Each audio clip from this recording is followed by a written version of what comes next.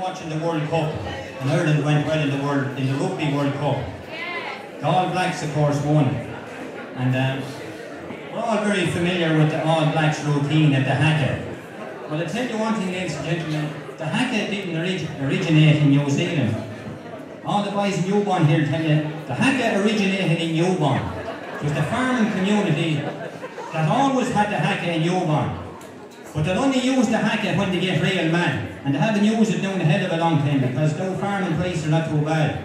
But when news of the IFA broke this week, by Jesus, tell you one thing, Charlie Bradley and all them farmers down in Newbawn and His Redmond, the Haka was pulled out again. It relieves tension, you see, when you get real mad. Often good. So, ladies and gentlemen, a crowd of angry farmers from Ali Foley's in Newbawn. Would you give a good round of applause for the Newbawn Haka?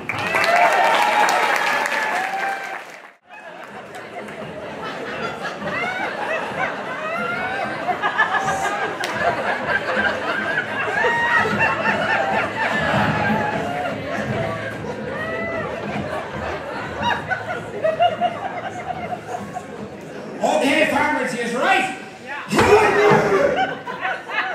How are you muck savages? Once again, how's she cotton? Where's me tail? Where's me tail? Where's me tail, my gun? Ah, give me your tail. Give me your tail. Give me your tail, my gun. Give me your tail. Give me your tail. Give me your tail, my gun.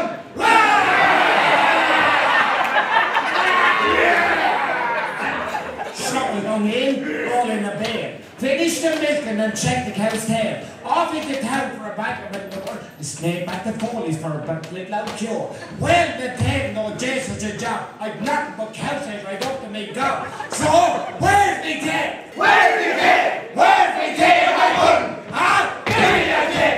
Give me your tail! Give me your tail, my gun! Give me your tail! Give me your tail! Give me your tail, my gun! The Maggie let her roar, she was looking rather fine. When they were up for the grub, grabbed the tongue off the line. They in for the spuds, oh God, they were mighty. And I noticed that Maggie was putting back on her nighty. Hurry up, she said, and she unhooked her out bra. Cause we're going upstairs for a bit of hoo-ha. So, where's me tail? Where's me tail? Where's me tail, my gun? Ah, give me your tail! Give me your tail! Give me your tail, my gun! Give me your tail! Give me your tail! Give me your tail, my gun!